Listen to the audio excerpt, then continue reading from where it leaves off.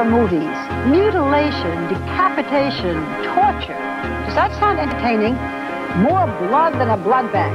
Have we got your attention? All right, welcome back, terrestrials, to another episode of Video Waste Reviews Movies. Today, I am here to save you time.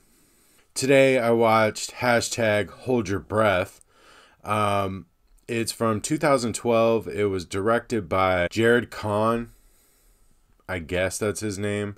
I don't know. Honestly, I don't really even care to get this movie's director's name right or the name of the movie.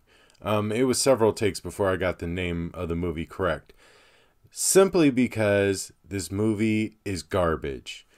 Um, it's your typical horror movie where a bunch of friends go camping or some shit uh, as usual and something takes place. In this particular instance, they drive by a graveyard that uh, they're supposed to hold their breath. I guess there's an old urban legend that you should hold your breath when passing a cemetery because if there's any evil spirits or people there that died, they're stuck there waiting for somebody to drive by not holding their breath and they will possess you.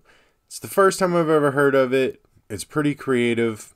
I don't know if it's an old thing or they made this up for the movie. I don't know. That's the only creative part about this whole movie. The movie is horrible acting, terrible CGI, shit doesn't make sense.